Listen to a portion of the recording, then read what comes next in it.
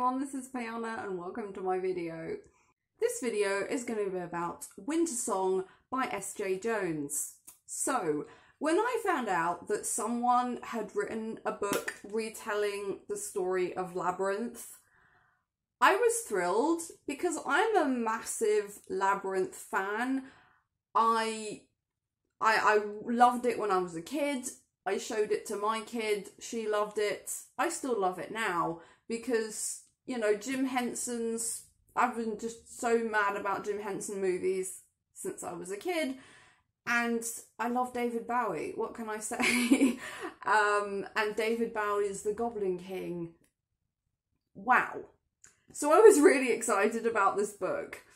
When I was I really excited about ordering it? Yes. Did I want to like it? Oh my god, yes. Did I like it? Okay. So I'd already seen other people giving their opinion on this and talking about it and reading their reviews and watching their videos, but I kind of hoped secretly that I would be the one to make a good review about this. I really thought that nobody could make something wrong out of Labyrinth because it's such a it's such a good story with such good characters that surely you can't like go wrong with that kind of thing. Like this is a, a Beauty and the Beast retelling. So this is entirely told from the point of view of a 19-year-old girl called Liesl. This is set in Germany in what I think is either the late 18th or the early 19th century. And it starts off with so you've got Liesl and her younger sister Keth, Ketha, Kathy. I don't even know how you say her name, but and Kathy. Let's call her Kathy. Her little sister, who's sixteen, and her little brother Joseph, who's about twelve or thirteen, I think. And it starts off with them going to prepare for their little brother Joseph's um, audition. He he's a violin player. He's a brilliant violin player. He has an audition with a master uh, musician who's going to uh, take him on as an apprentice and coach him into being an international star. Okay. And in this family, uh, the everything kind of revolves around music. Their father is a violin player. Their mother's a singer. Liesl uh, plays the violin and sings. She also likes to compose. And Kathy's kind of the odd one out here. She is not musically literate at all. She kind of comes across as being completely tone deaf, no interest in music there. And I kind of felt sorry for her right from the start because she is absolutely the odd one out in this family. And Liesl is incredibly jealous of her at the beginning of the book, and I can't, I don't really understand why. Like she's jealous of of her because she's very, very beautiful. And Liesl, all the way through this bloody book, is always going on about how ugly she is.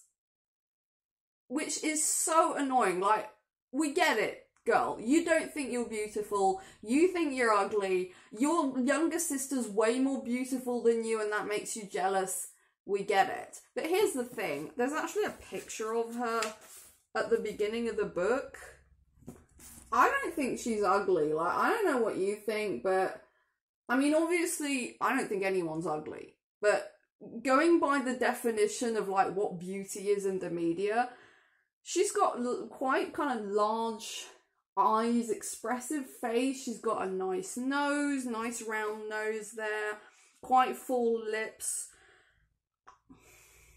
I don't know. I mean, obviously, you can be the most beautiful woman in the world and still think you're ugly, but the fact that she just bangs on about it so much, ugh.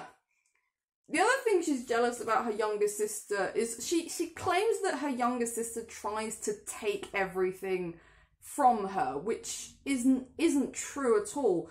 And she has this raging argument with her at the beginning of the book, um, because I think she read her diary or went to look in her kind of personal things, and she knows that Liesl wants to be a great famous composer, and Liesl gets really angry with her and says, "Oh, how dare you say that?" why? Why? Why are you angry with her? She's your younger sister. Why are you shocked that she knows you want to be a great composer? She has known you all her life. And that's another thing that kind of bugged me about this book is how little Liesl seems to know about her siblings. But we'll get back to that. So a hundred pages later, nothing much has happened yet we finally get to Joseph's audition, which we've been waiting for right from the beginning. And Liesl does a bit of coaching with Joseph because he is nervous, understandably. Because the audition isn't just for his future mentor, he is performing in front of the whole town as well. Uh, Liesl's family own a tavern, and so everyone's come to see this 13 year old kid trying to do his best. And yeah, so the, the thing that comes out of this is that everyone kind of focuses on Joseph in the family because he's this amazing virtuoso and Liesl's kind of there being like, oh yeah, I just shade into the back, I just fade into the background because I'm not beautiful and I'm not amazingly talented. So everyone looks at Kathy because she's amazingly beautiful, and everyone looks at Joseph because he's amazingly talented, and no one cares about me. And oh, she makes a big thing also about trying to like be there for her brother and her sister only it comes across as her trying to draw like trying to be a part of what's going on. Like that's how it felt to me. It didn't really feel like her genuinely caring about her sister at any point. Uh, it just came across as her trying to trying to be a part of this world that she's sort of forgotten about in because she's ugly uh, uh, yeah, so I didn't like Liesl, basically. I did not like this character at all. She comes across as just pathetic, basically. And in all of this, you've got the kind of got the Goblin King. And it kind of weirded me out that he's actually called the Goblin King in this book because I thought you could have at least kind of given him a different name. If you're supposed to do the the retelling, this retelling of Labyrinth, did it have to be that obvious? Like he's called the Goblin King, and he is pretty much the same as the one in the movie, right down to his eyes being different colors because David Bowie. Um, so I thought that was odd, and he makes some kind of random appearances at the beginning, like Liesl and Kathy go to the market because they need, uh, I think they need a bow for uh, Joseph's violin, and he's kind of there, and Liesl's like, "Oh wow, who's this what, like tall dark stranger in the hood?" And uh, and he gives this fruit to Kathy, which she eats and it gets a bit weird and then they go back to the tavern and when joseph's having his um, audition the goblin king's there in the audience. And um, then he abducts kathy. For some reason uh, which i don't really understand. Because then liesl the aim of this is to get liesl to come to the the like the goblin world which is called the underground and get her back which kind of is what happens in the film because you've got Sarah and uh, the Goblin King abducts Sarah's little brother and takes him to, to the Goblin world. Only Sarah asks in the in the film, Sarah asks the Goblin King to do that.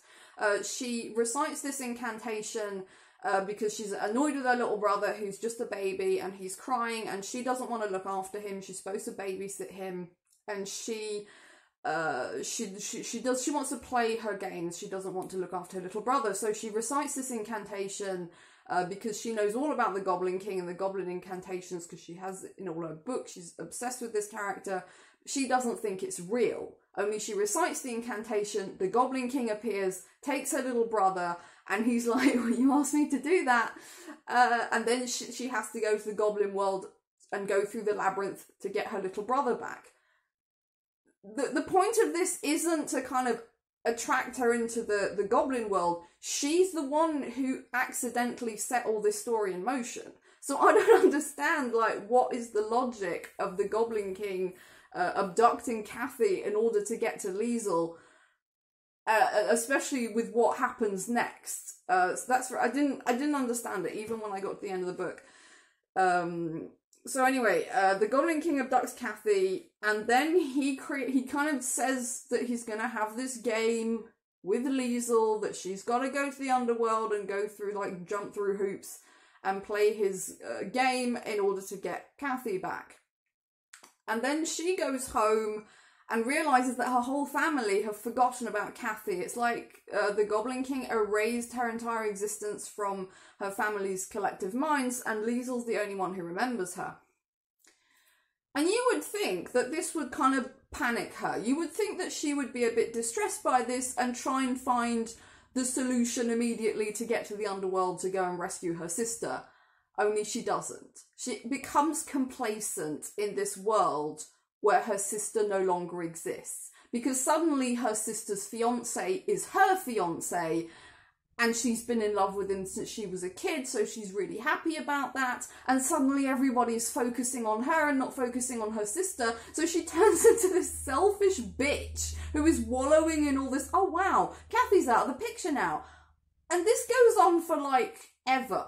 It's a really long time, like weeks go by, and she she's on a schedule this girl like she's got until the next full moon to save to rescue her sister so, but no, she just sits around being like, oh yeah, I can compose my music now and do this and do that. I don't understand why she couldn't compose her music before. Uh, and then later on, it turns out that she did everywhere anyway, and Joseph gave her a hand with that. It's weird. So, um, about 400 pages later, she gets finally decides to go to the underground and has to sacrifice her music or her compositions in order to do that. I don't know. Uh, and then uh, she gets to the goblin world. And the first thing she does there is not jump straight into the ring and rescue her sister. No, the Goblin King hosts a ball where he appears with Kathy, uh, uh his arm, like she's his new wife, and all the goblins are there having a ball. And Liesl gets drunk. She doesn't try anything. She picks up a violin, goes and plays with the band because they're not playing well enough, and then she gets drunk. Um, what am I missing? I don't know. Responsible sister here. Hello? So then uh, the next morning she wakes up very hungover, completely naked, in a bed with two goblin lady attendants.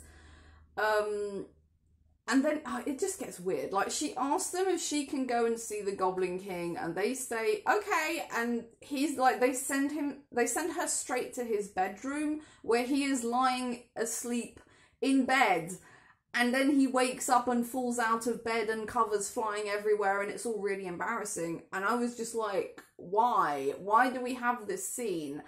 Uh, I don't want to see the Goblin King in an embarrassing position. Like in the movie, he is a very strong, um, very you know confident character. At no point does he kind of show any weakness, and the, the but you know one one of the kind of first serious scenes we have with him, he's just flung into this weird situation. He is he is the king of an entire realm and later on, it turns out he has way more powers than that. It's actually uh, his powers that makes the seasons turn over and spring come. Why are you reducing him to this? I was also a bit bewildered as to like how many interactions Liesl has with the Goblin King. Like he is always there.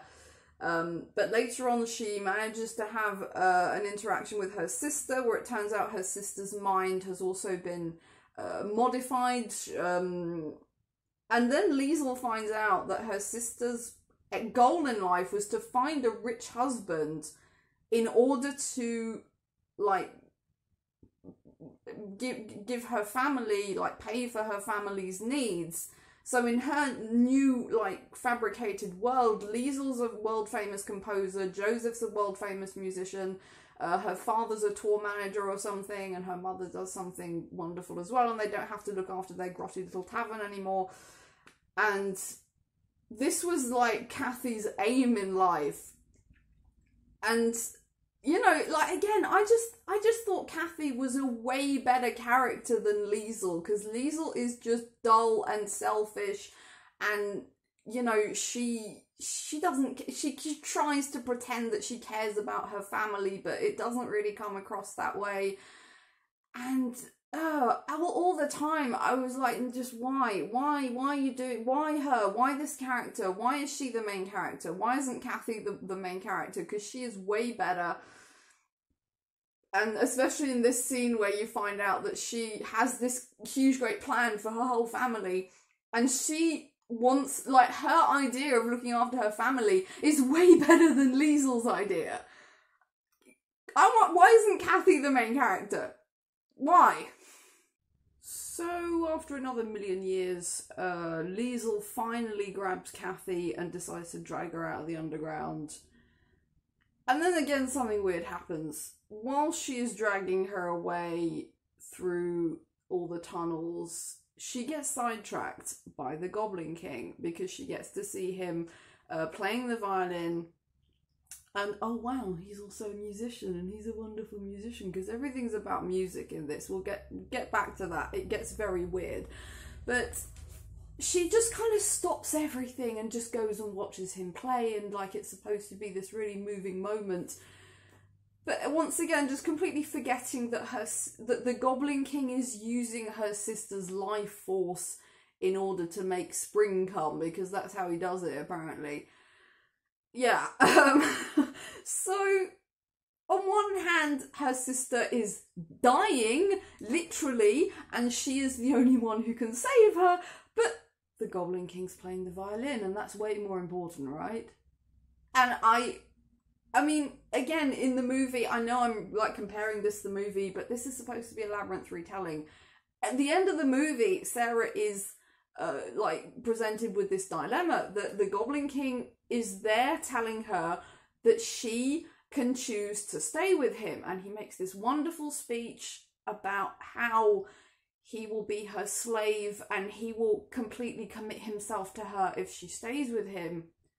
But despite that, she takes no notice of what he is saying and throws the incantation in his face in order to get home and save her little brother because that's what it's all about. The point of that is that she loves this character. She adores this character. She has a, a, a, a figure of him on her bedside table, and now she knows that he's real, and now she knows that she could stay there and be the Goblin Queen and spend her life with her. And it's a fabulous scene because the Goblin King is not, he is the Goblin King, he is the king of this realm, but he's also lonely and he he knows now that this this girl who's come and provided him with some kind of entertainment is now going to leave and he's going to go back to being lonely. So he wants her to stay. But so he comes out with this wonderful speech. And at no point in that speech does he appear to be like wretched or or desperate. He's still standing above her looking down and being brilliant and confident and majestic despite the fact he's falling apart inside. It's brilliant. It's a brilliant scene. And yeah, but Sarah throws the incantation in his face and saves her little brother because that's what's important to her. She realizes, despite the fact that she hated her little brother to begin with and she wanted to be rid of him, that's wrong, and she actually loves him and wants him back and goes through all of this to get him back. But Liesl, no, she's like, oh wow, he's so gorgeous, he's so sexy. So I get that like the um relationship and the sexiness of this is what is focused upon in the book, uh, because I guess we all kind of wondered what would have happened had Sarah said yes to the Goblin King and stayed with him. So that's pretty much what we get after this. Um, Liesl gets her sister out of the underground and t- tells the Goblin King that she will stay and be his bride instead of Kathy. Okay, so then she becomes the Goblin Queen. And it gets weird. It gets very weird. As if it wasn't weird enough up until this point. So she starts composing, and it's all about the music from this point on. And I get it, right? The the, the movie was a musical. I get that the, that the author was trying to work music into this in some way.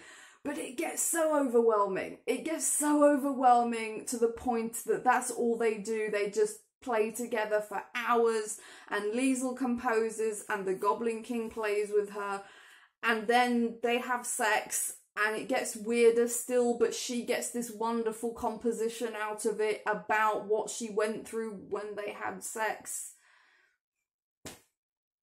It's weird. And then he goes into a sulk and disappears off for a long length of time. And in while this is going on, Liesl discovers that throughout history it's not been the same Goblin King, it's been a succession of different people.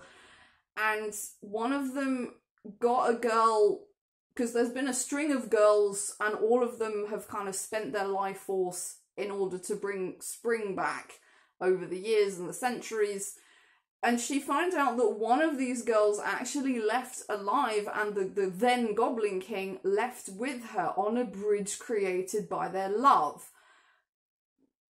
Okay uh the kind of opposite we've got kind of an opposite theme of milton there uh like the bridge to the, the the hell is created by sin and the bridge out of the underground is created by love yeah um so it kind of kind of led to that that that I thought that would be like the ending. Oh, they're going to actually really genuinely fall in love and get to leave together and live together. No, that's not what happens. Uh, she manages to drag the Goblin King out of his sulk.